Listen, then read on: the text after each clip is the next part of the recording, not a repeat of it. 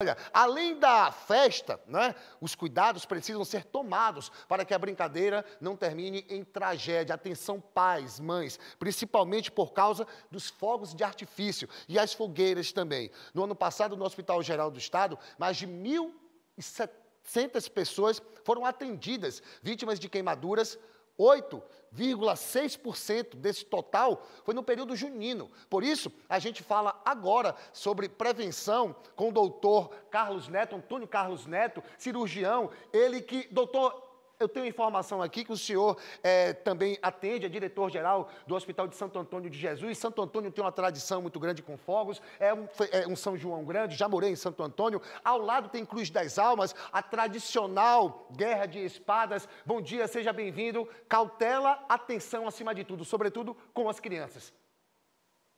Bom dia, bom dia. Exatamente, essa é a mensagem principal, essa é a mensagem que a gente coloca para todos que nos acompanham nesse momento. São João é um período muito próprio, muito particular da nossa região. Nós temos aqui no Recôncavo uma das melhores festas do Brasil, mas faz parte da nossa cultura, faz parte da tradição do nosso povo, o manuseio desses artefatos dos fogos de artifício. Então, quem optar por fazê-lo, o faça de forma bastante responsável, com muita cautela. Para quem, porventura, sofrer algum tipo de acidente, o Hospital Regional de São Antônio de Jesus, a unidade de tratamento de queimados, está à disposição, plenamente preparada para atender esses pacientes que já estão chegando na nossa unidade. Doutor, a gente tem informação que a Bahia tem três centros de tratamento de queimados. A Bahia é referência. A gente tem aqui uma força-tarefa, se tratando de Salvador, aproximadamente 200 profissionais trabalhando só nesses festejos juninos, porque aumentem muito o número de queimados. A gente sabe que Santo Antônio de Jesus também tem um, um, um hospital grandioso. A força-tarefa de vocês, a gente tem barreiras também. Quantas pessoas irão trabalhar neste São João? E a gente espera, claro, que o número de queimados diminua a cada momento.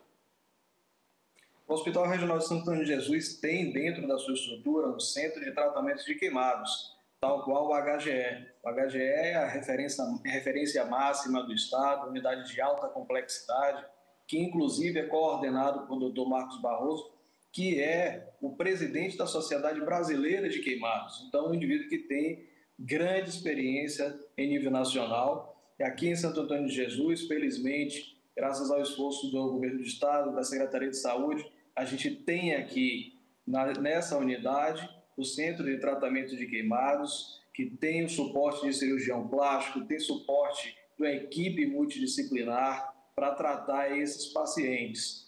A nossa equipe foi reforçada, apesar de que ela funciona todos os dias do ano, 24 horas por dia, mas nesse período a gente tem esse cuidado especial em reforçar o grupo e fazer novos treinamentos com toda a equipe, revisando o protocolo, para que nesse momento a gente consiga atender esse número a mais de pacientes que procuram a nossa unidade.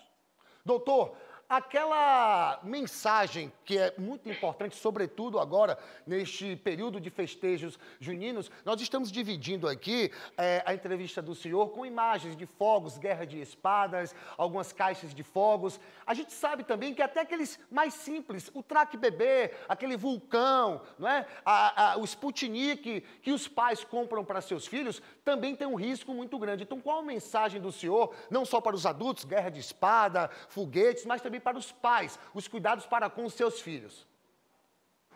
Não permitir de maneira nenhuma que crianças manipulem fogos de artifício sem supervisão. Isso é primordial. Essa atenção é importantíssima. A gente percebe um grande número de crianças com lesões por fogos de artifício. Então, a vigilância é a, a, palavra, a vigilância é a palavra de ordem nesse momento. Muito cuidado. Não misturem essa tradição de queimar fogos com o consumo de bebida alcoólica. A atenção diminui, os acidentes tendem a acontecer. Façam as coisas de maneira responsável para que a alegria não termine realmente na unidade hospitalar.